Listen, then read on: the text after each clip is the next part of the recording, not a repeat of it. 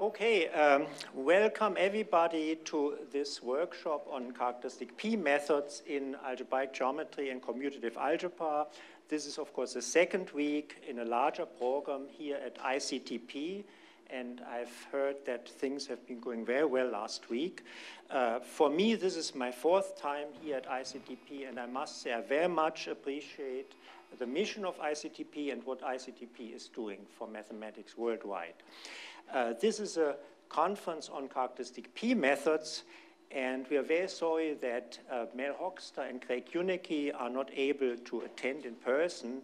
But since this is an event in characteristic P methods, uh, such an event can do nothing but celebrate the tremendous contributions of our two colleagues.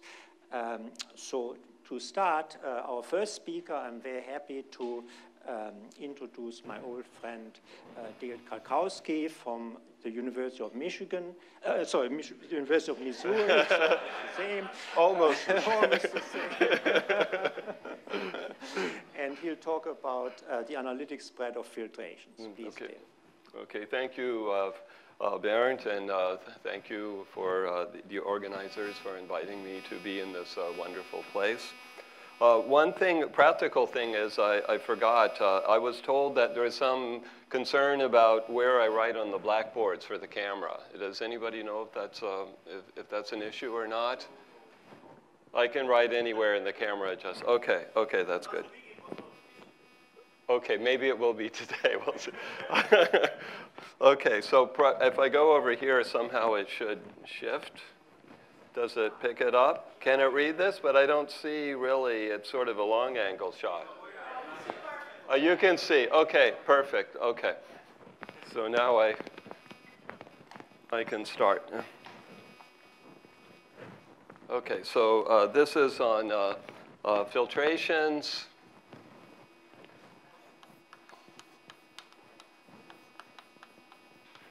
Uh, analytic spread. And I have a uh, new uh, theme that I've added.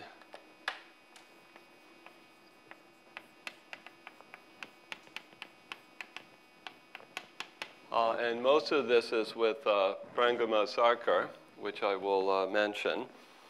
So uh, is this, this can be seen everywhere? Is, okay. Okay, you're right at front though, so, but no, uh, from the, Ah, okay, okay, good. All right, so uh, what is a filtration?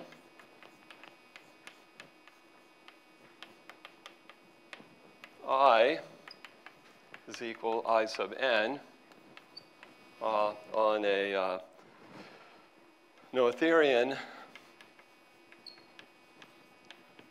ring R is a sequence uh, R is equal to I naught contained in I1, and so on. And the critical condition is IM times IN is contained in IM plus N. So this uh, allows one to form a kind of uh, Rees uh, ring of this, which is uh, uh, from, from this, which I'll mention later. Okay, so what are some examples of this? There's the, uh, if I is an ideal, Uh, there's the I-adic filtration of powers of I, and this is the most uh, very classical and most Im important one. Okay, and there's a um, another uh, type of filtration I want to talk about. So if we take R to be a uh, domain, or uh, the way this is usually used is if you uh, start out with R and you mod out by P, where P a minimal prime.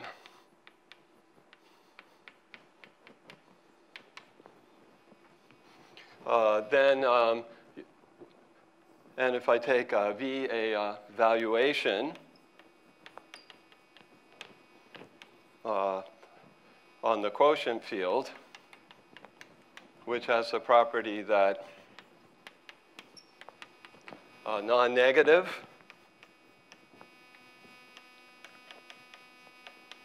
Uh, on R, uh, and it has the, the property that uh, the transcendence degree uh, of the quotient field of R mod uh, the maximal ideal of the valuation ring over R, well, of the valuation residue field of the valuation ring over the residue field of the quotient field, uh, this is equal to the height of, um, of this prime ideal uh, minus 1. So if this happens, this is called a divisorial valuation. Okay, so this, this in itself seems like sort of a strange and unmotivated uh, uh, definition maybe, but it has the, uh, uh in the case for uh, reasonable rings, this has a very nice uh, interpretation. So if R is, is excellent, then V is divisorial if and only if uh, there exists uh, some map pi from x to spec of r, which is the blow up of an ideal. Okay, well, x is normal, and and the valuation ring of V is going to be local ring of, a, of a E, where E, I'll, I'll call it a codimension one subvariety of X. So if you will, an integral, uh, integral sub, subscheme of codimension, integral closed subscheme of X of codimension one. Okay, so from this, uh, you can construct, well, first off, we need to know the concept of valuation ideal. Uh, and this is, uh, if I take a lambda in R, this is going to be the elements uh, x and R uh, such that the value of x is bigger than equal to lambda. Okay, so in fact, uh, uh, these divisorial valuations uh, are always discrete, rank one discrete.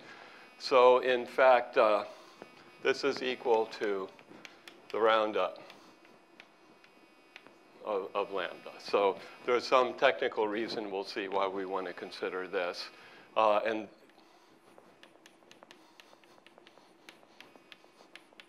div divisorial valuations are discrete.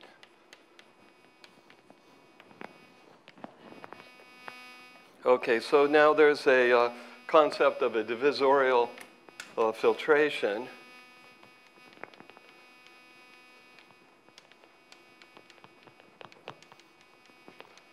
Uh, I, which will be I sub n. What does this mean? This means that each I sub n is I, it's the intersection of multiples of valuation or a volt of valuation ideals over different n, where here V1, VR are divisorial valuations, uh, and lambda 1, lam this should have been in R. Uh, this is in, um, this is non-negative real numbers. Okay, so uh, one can uh, consider the case where these guys are all uh, uh, where these guys are all rational numbers or integers. So I will give those different names. I need something to, okay. I, I can erase with this.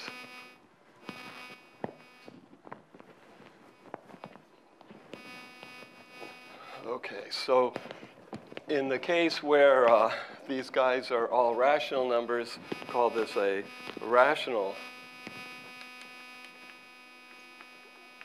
If the lambdas are all uh, rational, then this is a uh, is a Q divisorial filtration. And uh, if uh, they're in Z, then this is Z divisorial.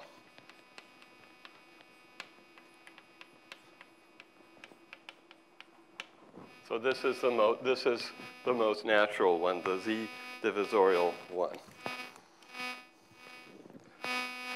Okay, so uh, a couple examples showing that this comes up naturally is uh, let's let I equals uh, I sub n be an adic, an I-adic filtration. And this is on a uh, local uh, Noetherian ring. Uh, and uh, then uh, we take the filtration, J is equal to IN bar, where IN bar is the integral closure of I to the N.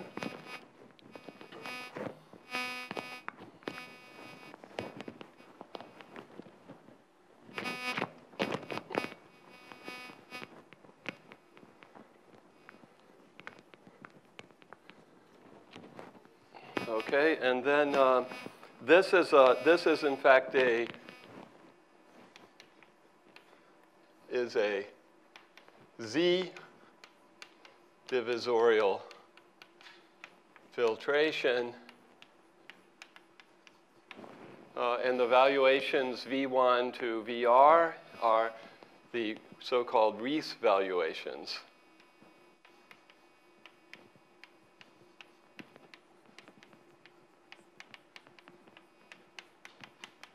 Okay, this is the theory of Rees. Uh, so uh, also um, another example is if you take uh, P, a prime ideal, uh, in say a regular local ring, R, uh, then I can take the, uh, the filtration, the symbolic, the filtration of symbolic powers.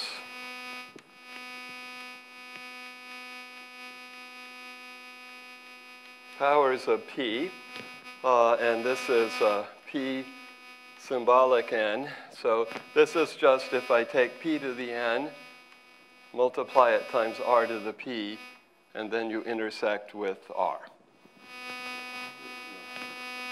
Okay, so this is a, uh, this is also a uh, Z divisorial filtration.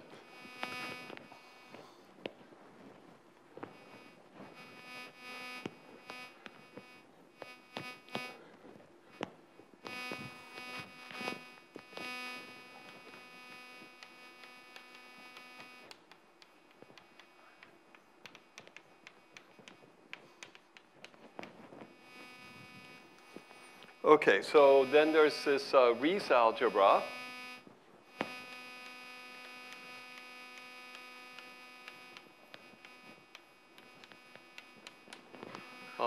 Algebra of a filtration I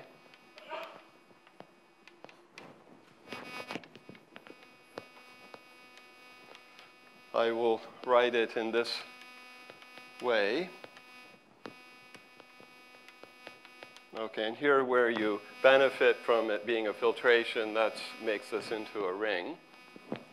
Uh, and uh, this, uh, this is, uh, make the comment that, well, maybe I'll just say this, that for the I-adic filtration, this is of course Noetherian, uh, but for uh, divisorial filtrations in general, it's not.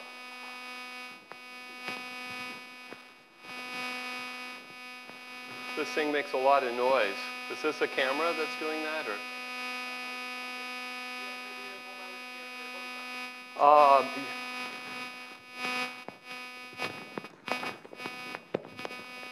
that didn't seem to have helped.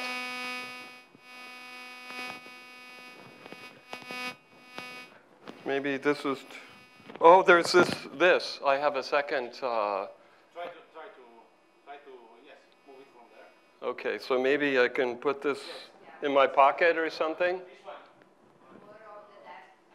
one. Is it good enough on the desk? Okay.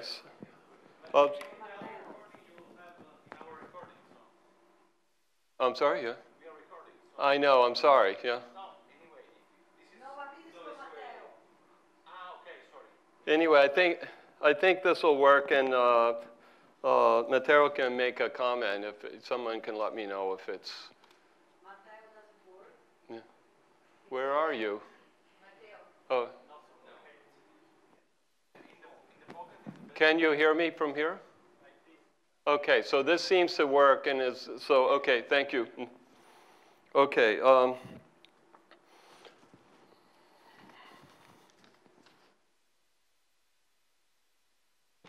Okay, so uh, attached to this is uh, an integral closure. We can take the integral closure of this uh, ring.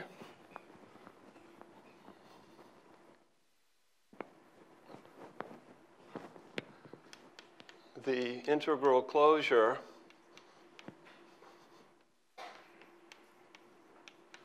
of Ri in uh, R of t uh, is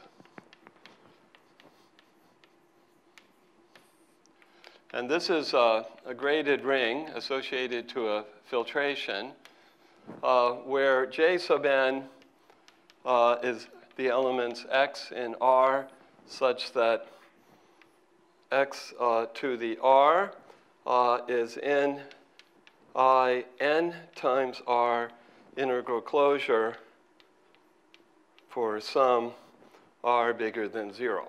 Okay, so this is uh, a little more general than the, what you get from the I-adic filtration.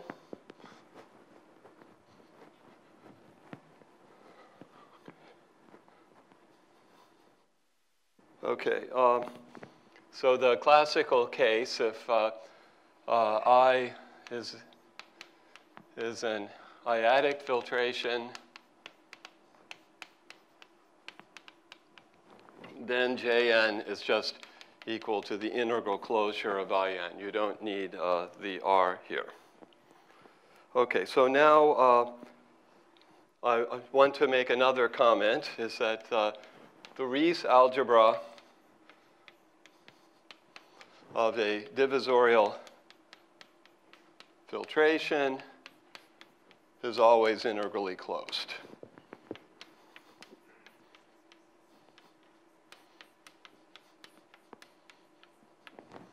Okay, so now I will uh, define uh, the analytic uh, spread.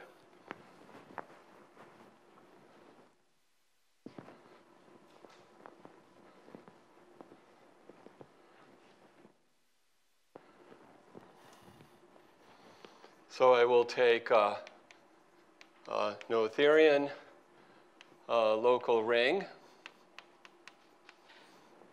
and I a filtration.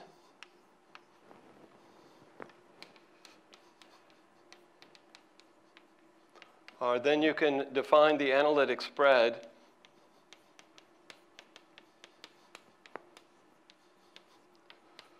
of I is uh, the analytic spread of I uh, is uh, the dimension of the Rees ring modulo the maximal ideal times the Rees ring. So if I is the um, adic, if I is an I-adic filtration, this is exactly the usual definition of analytic spread uh, that um, after Parangama and I started uh, working with this, that uh, we learned that uh, there's another definition of analytic spread of a filtration, which is uh, originally due to Bruns and Schwentzel. It's also, there's work on this by Hoa, Kimura, Terai, and Trung, and uh, Dao and Montano, and I'm sure there's some other work too that, that I've missed.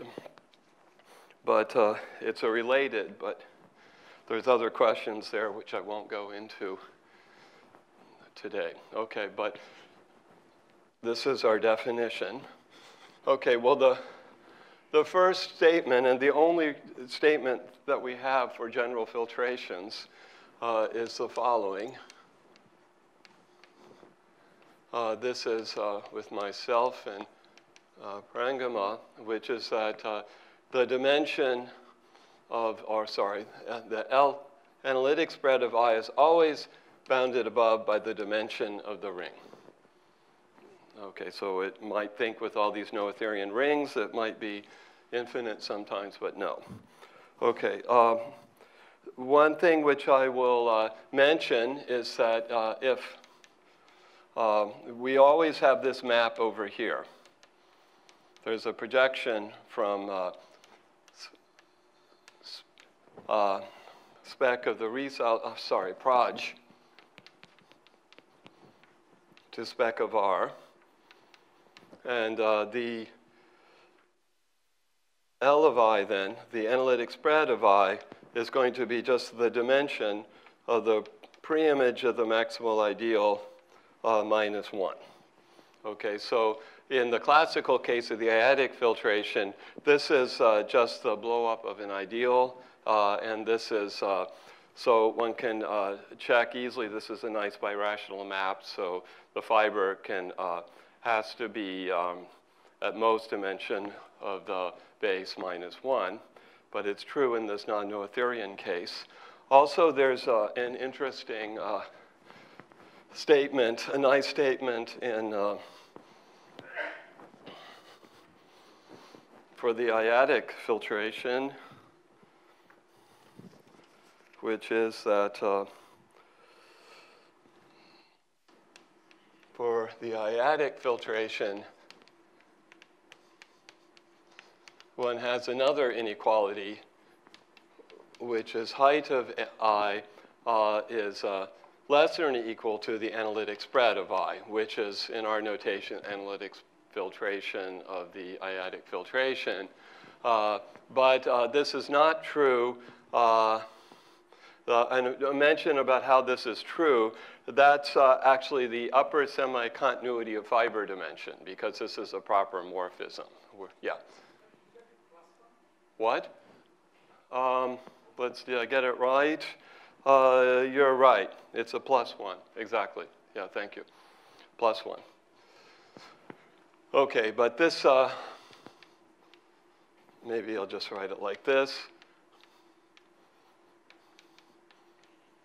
That, in fact, this fails, and it's not difficult to find examples of, um, of uh, just general strange filtrations for which this fails, but even for naturally occurring filtrations, this fails. Uh, and so this is uh, even for uh, uh, two dimension, a height two prime ideal. Uh, P in a regular local ring R of dimension three, so a uh, space curve singularity. Uh, and then you have um, the length of the uh, analytic spread of the symbolic filtration is equal to zero, which is less than the height of P, which is uh, equal to two. So you can do this. If this occurs, this means that the preimage of the maximal ideal under this map is the empty set. So somehow this is not a proper morphism. It's not dominant. Okay, so now uh, this is the uh, uh, first uh, main theorem I want to talk about now.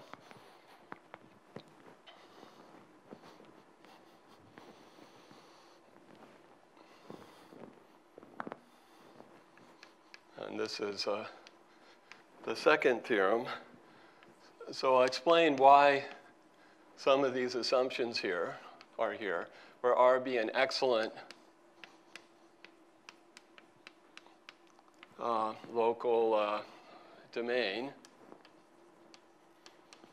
which is either of equi characteristic zero or of dimension less than or equal to 3. Uh, and i is equal to i sub n a Q divisorial filtration uh, on R.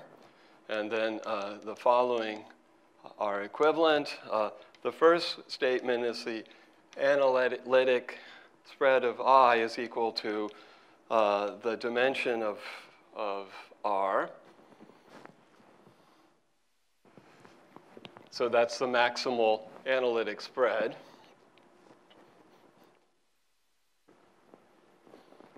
Uh, the second is that there exists some and not uh, such that uh, the maximal ideal, maybe I should have written this, is, in, is uh, an associated prime of R mod In for all n bigger than equal to n naught. And uh, the third statement is that uh, there just exists some such that the maximal ideal is in the associated prime of R mod I m naught. Okay, so these are equivalent, and uh, uh, first off, I'll mention just the following. The proof is in two halves where the first half is, uh, is uh, one implies two, uh, which is with, uh, with uh, Parangama Sarkar. And this is true much more generally. We don't need all these assumptions. It's just uh, uh, Noetherian local domain. Uh, and then uh, three implies two. This I did a little later. Uh, and this, uh, the, I'll, hopefully I'll have time to come back and say a little, a few words about the proof. But that's where these assumptions uh, come in, where I use geometric methods, and the, what I use is resolution. I need resolution of singularities. So in fact, something uh, many people don't know is that actually in his original paper, Hironaka proved resolution of singularities over an excellent local ring which of equicharacteristic zero.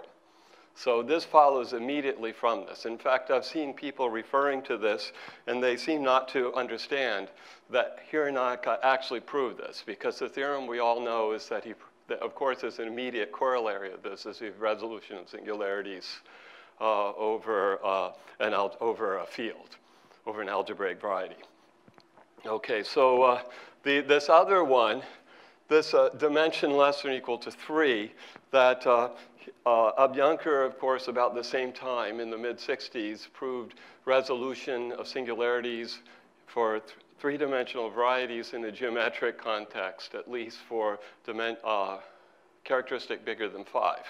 Uh, but about a decade ago, maybe, in a very, very long paper that uh, Vincent Cossart and Olivier Piltant finished it up in dimension three for excellent rings. And uh, beyond that, it's all a mystery that, that we'll see. I mean, it could be in characteristic P, one could make use of some of these uh, uh, de Jong type methods to do something. In fact, that just occurred to me now. That might be a possibility. So that, that's something. That might be a way of, of getting around this, at least in rings essentially a finite type over a field or a perfect field. Okay, so uh, I'll say, hopefully I'll say a little more about this, uh, this later. Uh, another uh, comment I want to make is that uh, this theorem generalizes a classical theorem of uh, McAdam and Burch, which can be found in the excellent book by Swanson and Huneke on integral closure, where this is one of the theorems that they uh, they present there. Okay, so now uh, the next topic on epsilon multiplicity. Uh, so we can define the epsilon multiplicity.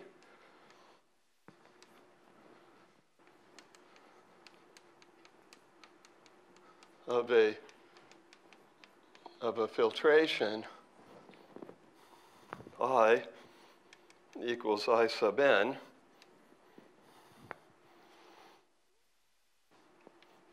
in a uh, d-dimensional Noetherian local ring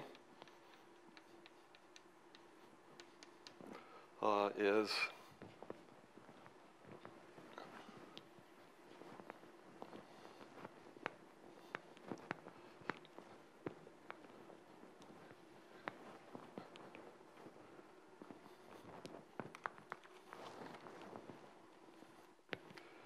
is defined like this.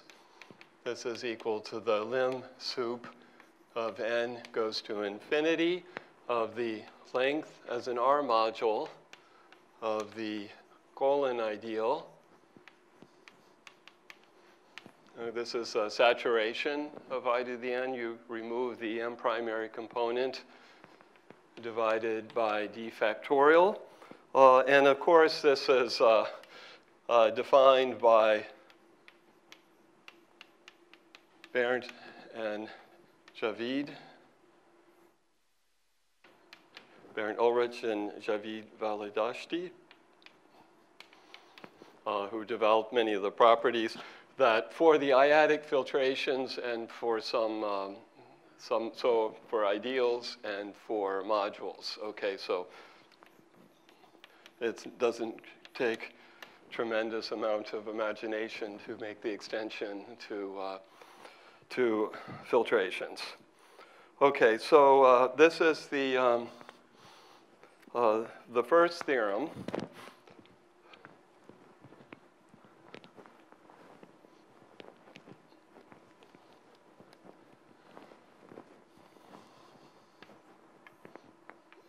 Uh, so suppose that I is an adic filtration.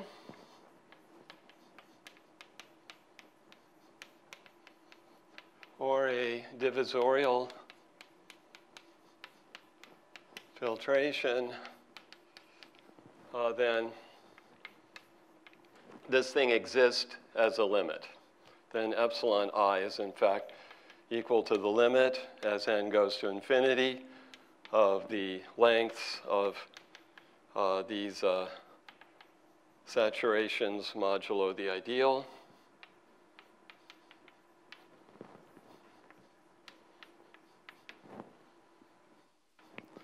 And this exists as a limit. Uh, even for an ideal, this can be a, an irrational number.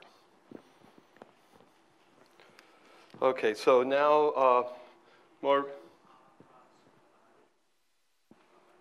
Oh, I forgot something. Thank you. Yeah, yeah. This isn't in complete generality like uh, the definition. This is that R is an analytically unramified, un, analytically unramified.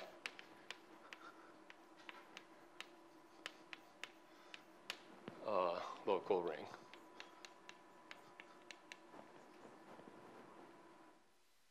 And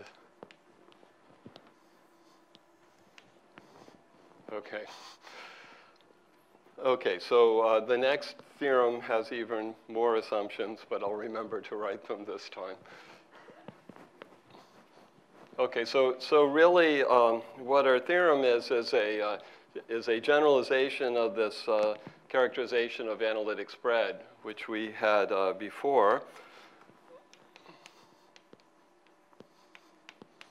And this is again with uh, Parangama Sarkar, uh, which is that had the same restrictions, uh, let R be a D uh, dimensional excellent local ring, which is either of equi characteristic zero or of dimension less than equal to 3 and I uh, be a Q divisorial filtration uh, on, on R. Okay, then we have that the epsilon multiplicity of I is positive uh, if and only if the uh, analytics spread of I is equal to which the dimension of R. Okay, and, and in fact, uh, this theorem is implicit in this paper of uh, Javid and, uh, and Bernd. That somehow they write the proof in their papers, but they don't actually quite state it. So, and, and I think other people have maybe pointed this out.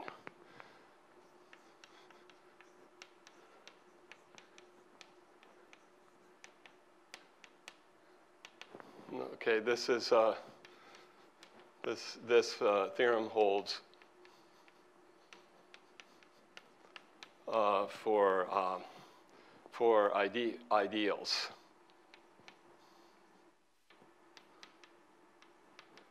And it's in a very general situation. I think it's uh, uh, formally equidimensional, I think.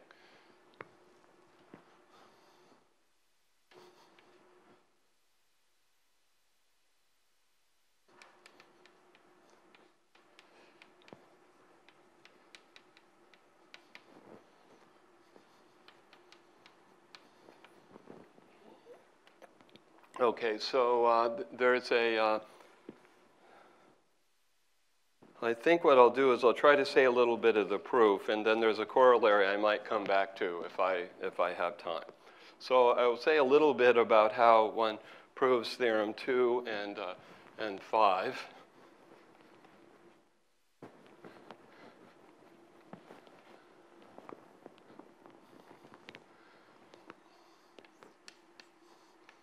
So say some ideas of the proof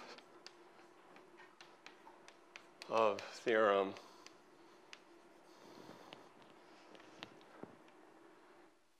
proofs of theorems 2 and 4. These are the statements uh, characterizing maximal uh, analytic spread.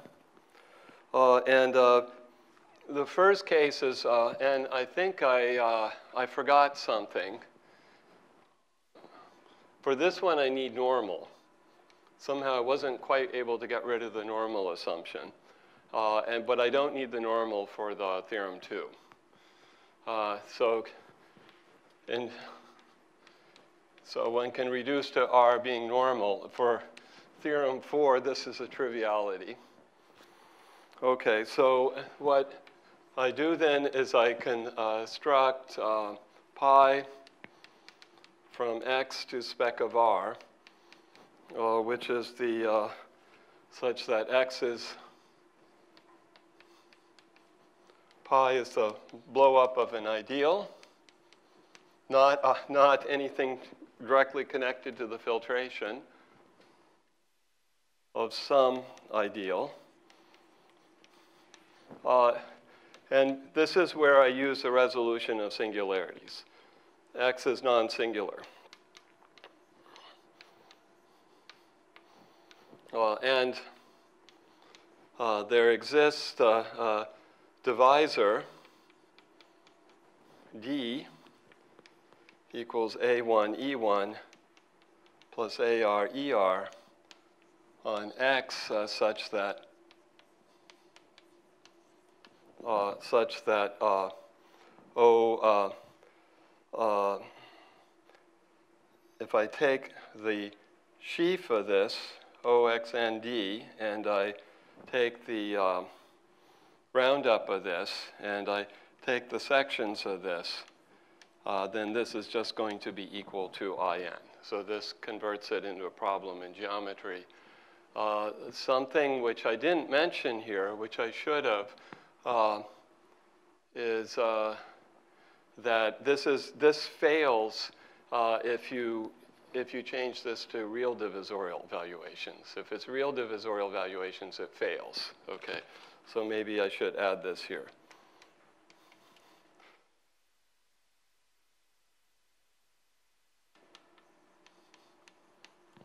Two are false, even for R divisorial.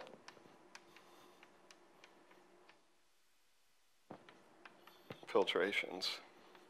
Okay, so that's kind of a, a subtlety uh, in this. So this is, this is a Q divisorial filtration. Okay, so uh, Now, uh, what I'm going to do is, this was the motivating uh, idea for this, where there's a, a, case where everything works out uh, very easily, uh, and one can prove all kinds of even more. So I'll mention this, because this is the motivating case.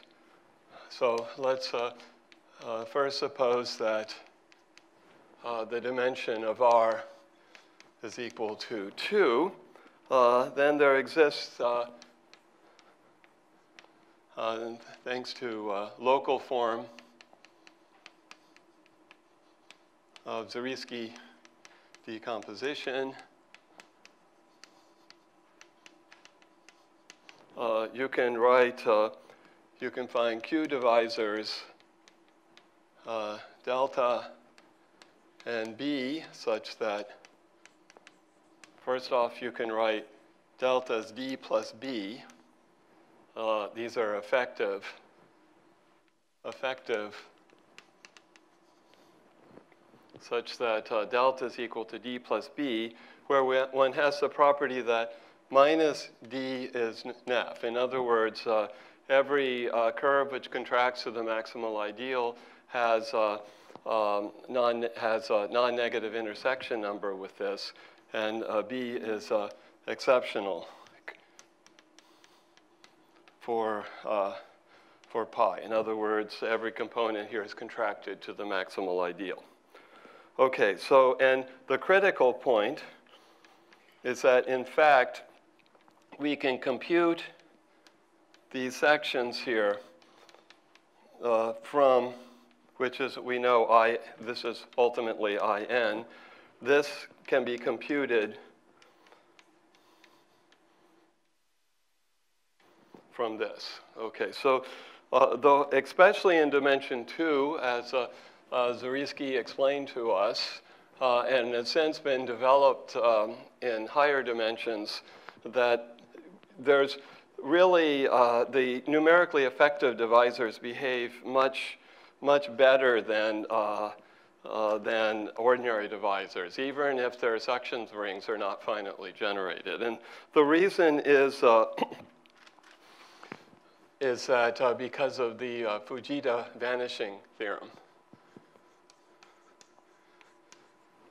So we can reduce to the case that minus d is, is nef.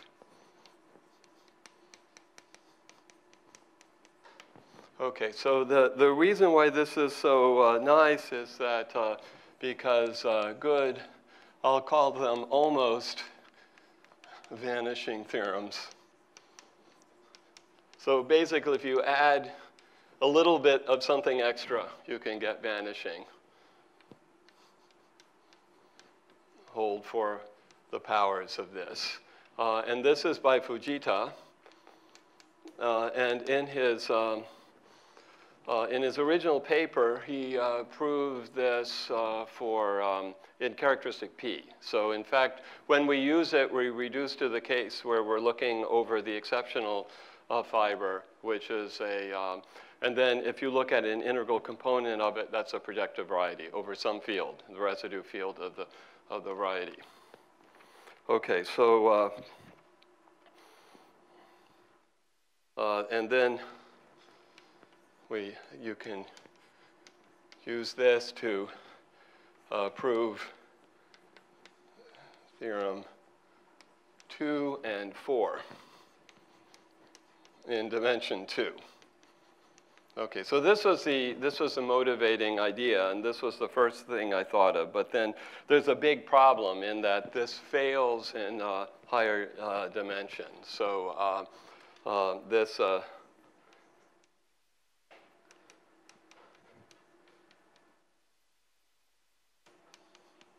does not generalize to higher dimension, sadly.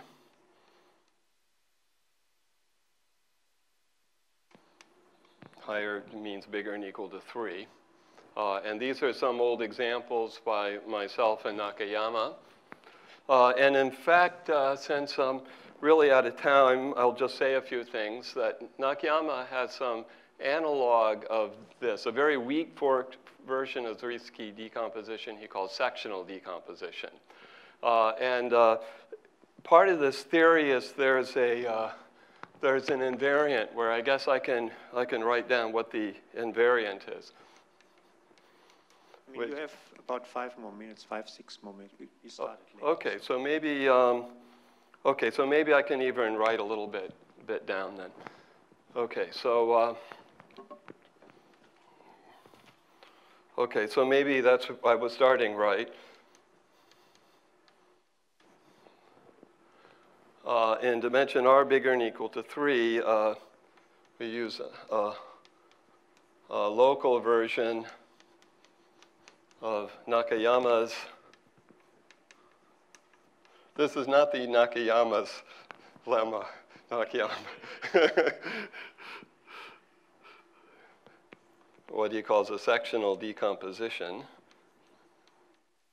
But you need, uh, this is where we need the uh, non-singularity uh, condition uh, for, it, for it, which is a weak form, I'll just say a weak form of Zariski decomposition.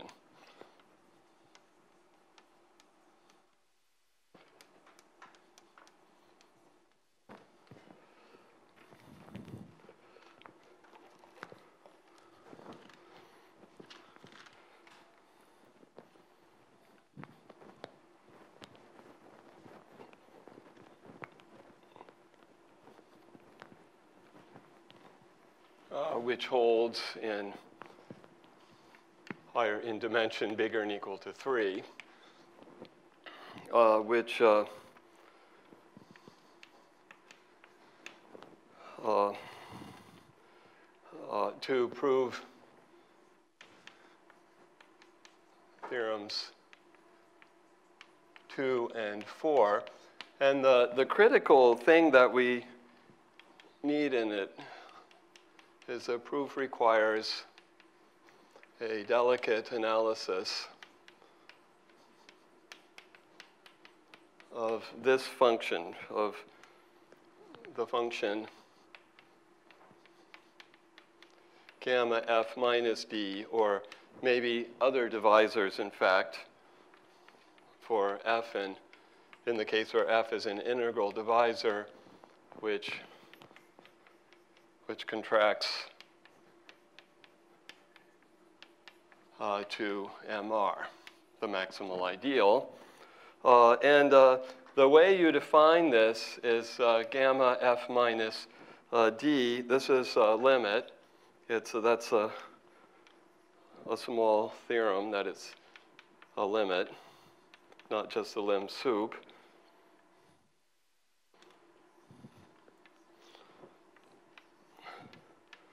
Okay, so now we've pushed the definition uh, back one.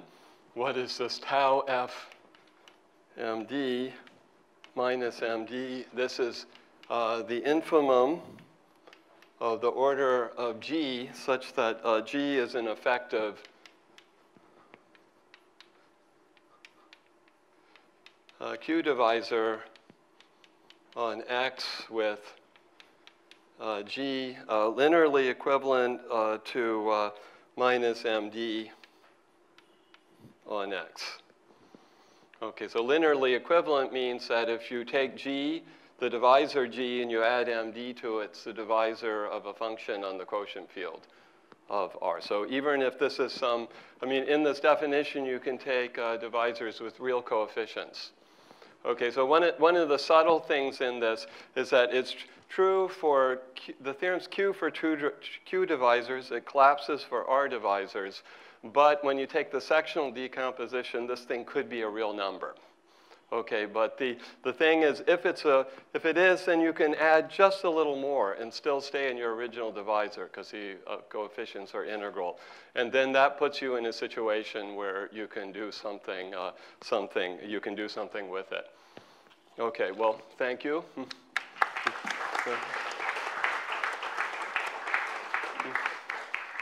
Thank you very much, Dale. Are there any questions?